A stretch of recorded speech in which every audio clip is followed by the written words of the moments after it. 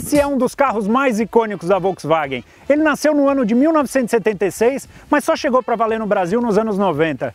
O Golf GTI tem mais de 40 anos de produção e hoje eu vou levar vocês para andar na sétima geração do modelo e quero mostrar o porquê ele pode tornar o seu dia a dia muito mais legal.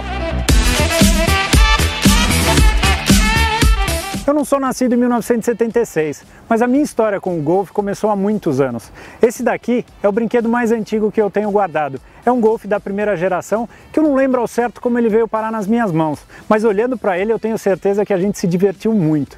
Eu já era fascinado por automobilismo desde moleque, então eu tinha mania de recortar as revistas para fazer os meus próprios patrocínios e inclusive perdi uma das portas em alguma das minhas corridas. Pois é, sacrifiquei as revistas, mas realizei meu sonho.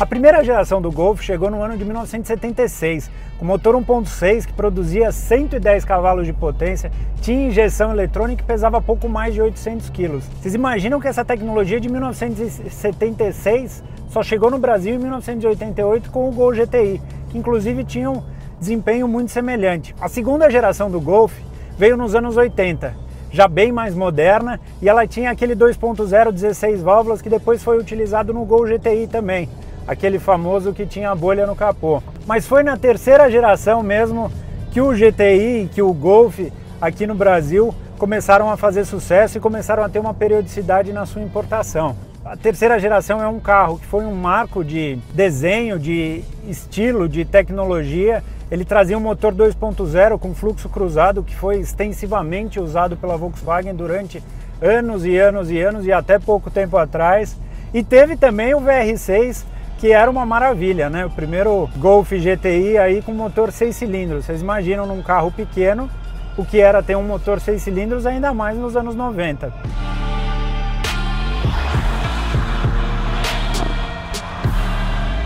Mas a grande geração de sucesso no Brasil do Golf foi o MK4. Lançado no fim dos anos 90, ele tinha as versões com motor 1.6, o SR, depois tinha o 2.0 e tinha, lógico, a GTI, a primeira a utilizar motorização turbo, era 1.8, 20 válvulas, produzia 150 cavalos de potência, um carro super gostoso e divertido de usar.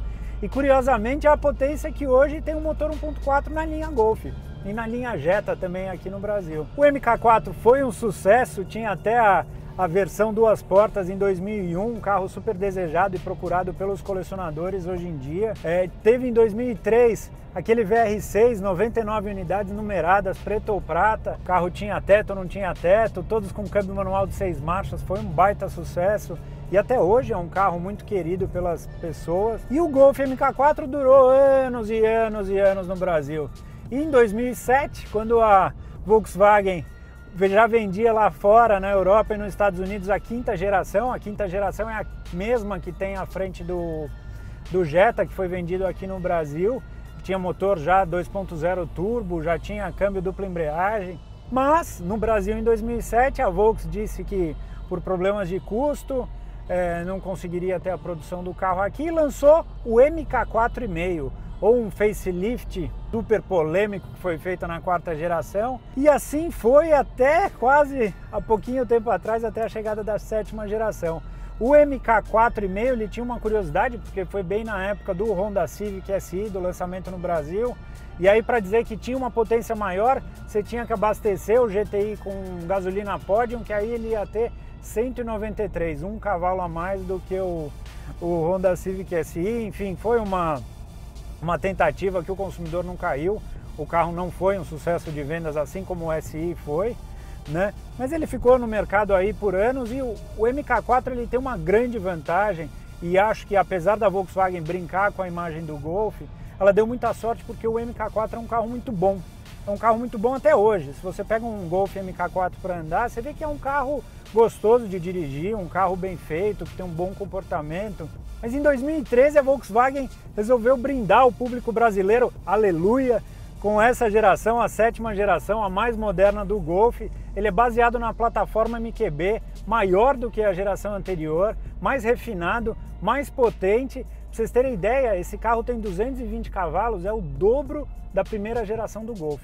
O interior desse carro ele tem linhas simples, É, ele é tudo muito bem montado, muito bem feito, mas ele não tem nada muito extravagante. Pode ser que num primeiro momento é, ele não te conquiste aos olhos, mas eu tenho certeza que ao longo do tempo a convivência aqui com a boa qualidade, a boa ergonomia, a boa posição de dirigir vão te fazer muito feliz. Aqui no meio do painel tem uma grande tela, particularmente eu acho até exagerado o tamanho, desnecessário o tamanho dessa tela.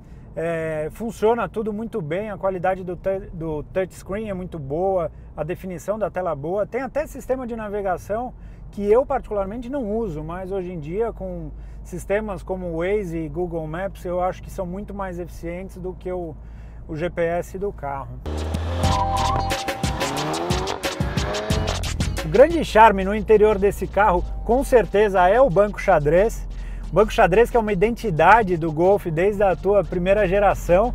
É, eu brinco que a versão básica do Golf deveria vir equipada com couro e a mais top com o tecido xadrez, não seria nada mal. Na verdade, eu acho que se todo Golf GTI fosse equipado com banco xadrez, estava lindo. Além disso, ele é um banco bom de sentar, apoia bem o corpo e tem um bom apoio lateral.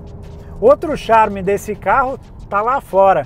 Ali na frente, os faróis Xenon, ele tem Xenon no alto e no baixo, tem o corpo que é direcional, ele acompanha o movimento do volante.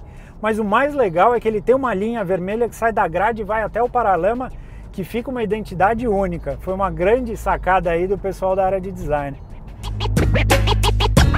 Essa sétima geração está toda mais tecnológica. Tem o piloto automático com controle de distância, ar-condicionado dual zone, sistema de navegação, câmera de ré traseira, sistema de som Fender de alta performance. Enfim, são todos itens que seduzem na hora da compra, mas eu acho que a longo prazo com um carro o que fica mesmo é aquela lembrança daquela boa dirigibilidade, daquela, daquele bom desempenho, daquela boa colada no banco e esse carro sabe fazer isso muito bem.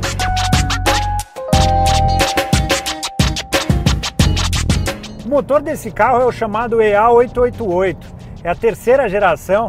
Desde que eu andei nos primeiros Passats equipados com esse motor, eu chamava ele de motor ladrão, porque eu falava, gente, não pode ser, na época 200 cavalos tinha, não pode ser que só tem 200 cavalos no motor desse carro. E de fato, muitas pessoas mediram o carro e no caso do GTI já chegaram até a ferir 260 cavalos no dinamômetro. Mas enfim, oficialmente ele tem 220. Mas o maior barato desse motor é o seguinte, ele tem um torque absurdo em baixa rotação. É tipo um motor diesel sem os inconvenientes de um motor diesel. Pra vocês terem ideia do tanto de torque que tem nesse carro, ele tem um torque semelhante ao do motor V6 do Passat CC, aquele de 300 cavalos. Para a galera que é mais da antiga, tem mais torque que um 6 cilindros do Opala. Tem praticamente o torque de um V8 do Maverick da época dos anos 70. E o grande torque, ele se traduz num prazer de dirigir porque ele tem uma força enorme em baixíssimas rotações, então é uma rotação que você nem imagina. Então o carro tem uma retomada e ele tem outra coisa que é o seguinte: se você para o carro e sai acelerando, ele sai distracionando que nem um louco. Ó, dá uma olhada.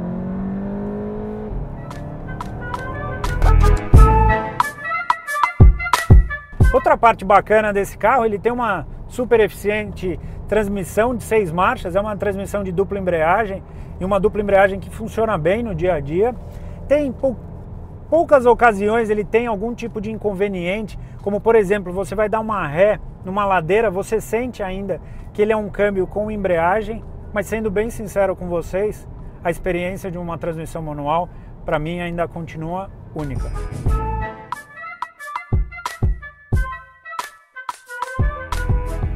Direção desse carro é a chamada eletromecânica. Ela tem assistência elétrica e ela não usa óleo. Por isso que ela não chama eletrohidráulica e sim eletromecânica, ela é uma caixa seca. Mas o que é bem interessante na caixa de direção desse carro é que ela tem a relação dela variável. Então, para trânsito urbano, ela é uma direção bem rápida e bem ágil, e conforme você ganha velocidade, ela vai desmultiplicando a relação e dando mais peso. Então vai compensando conforme o carro tem mais velocidade, ela vai ficando um pouquinho mais pesada.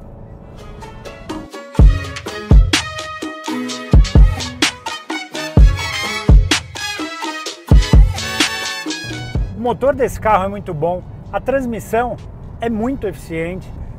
Direção dele tem um peso super bom, uma, uma resposta super boa, mas para mim o mais impressionante desse carro é o conjunto de suspensão e freio dele. Ele é extremamente confortável na cidade, não dá para acreditar como nessa buraqueira irritante de São Paulo ele consegue sair tão bem. E aí quando você chega numa estrada com curva, você coloca esse carro para fazer curva e ele parece ter uma suspensão de um esportivo. Esse balanço que eles conseguiram achar de suspensão para esse carro é uma das coisas mais impressionantes. E vou falar, Visualmente eu não gostava da roda 17 desse carro. Aliás, continuo não gostando muito porque eu acho muito pequena. Eu sempre, desde o lançamento, eu achava que a Aro 18, até a Austin, que é a que eles vendem, o modelo que eles vendem lá nos Estados Unidos, que vem, que vem de série no carro, eu achava muito mais bonita, mas acho que em São Paulo é, o visual vai me encantar, mas eu acho que a buraqueira e uma bolha no pneu vai me deixar completamente irritado. Por isso que eu acho que Hoje essa 17 eu não estou vendo ela e ela está muito boa e muito bem aqui.